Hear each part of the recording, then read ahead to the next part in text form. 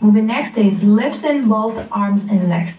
Keep your back straight, flat on the floor, and relax. This exercise can help you avoid lower back pain and neck tired while still working effectively on your core. And imagine you are pulling your core muscles, make them straight. This is what we are doing. Did you feel it?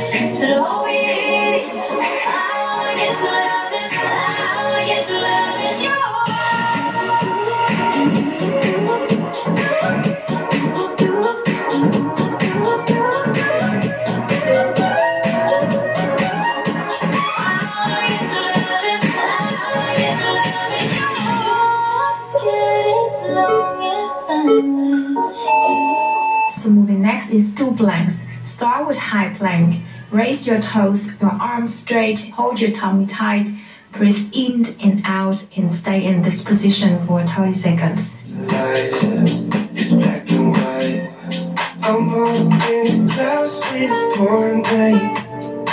Never coming down unless you call my name. Yeah, we should take it slow, just like day by day, like day by day. Second move is low plank. Keep your lower back a little bit off so you can avoid lower back pain. After weight loss or pregnancy, lower back pain is very common. We are going to make it easier to enjoy. I'm all up in the never coming down unless you call my name. Yeah, we should it just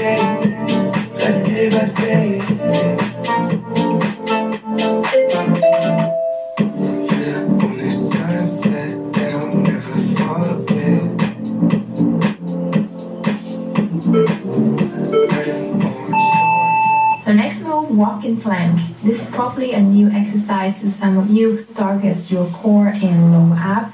Just walk in and walk back. Tighten your core muscles. This is the key to get the results. That's correct, you can keep that going. I'm all up in the clouds, pouring rain. Ain't never coming down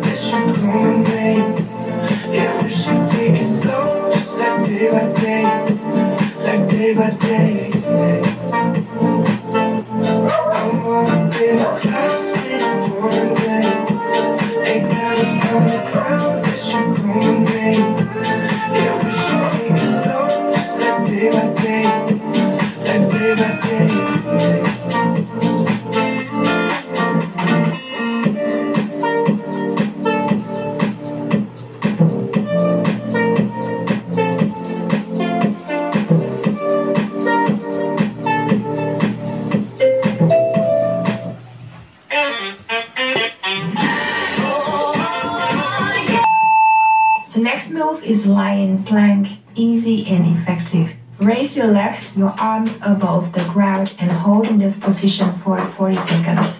You can see I'm breathing slowly and focus completely on my core.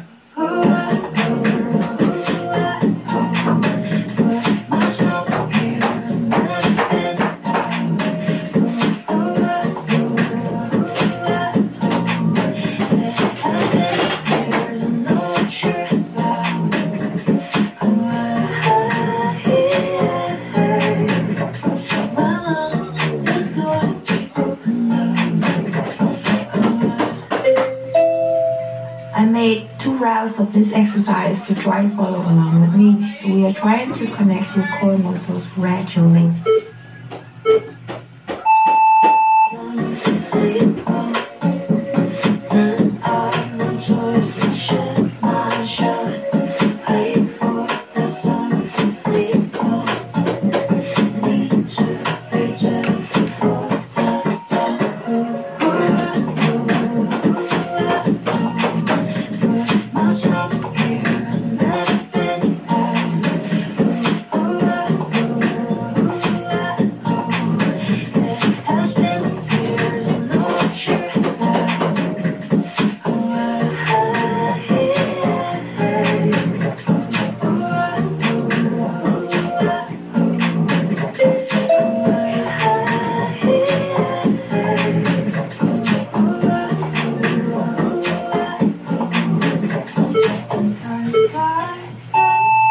Next move is foot clapping.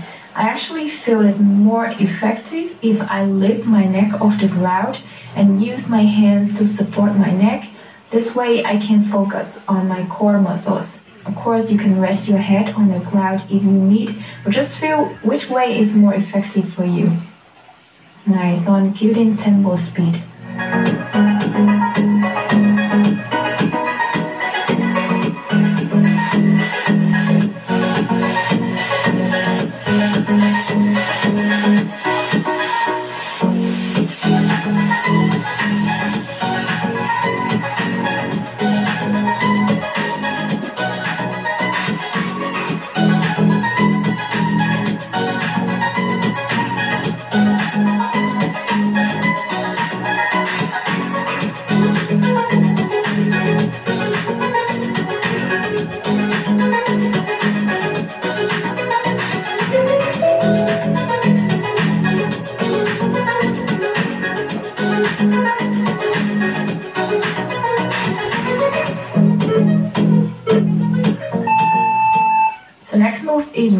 Reverse bicycle. You definitely feel your midsection in this exercise. Again, rest your neck on the floor if you need, but I feel it's more effective if you can lift it.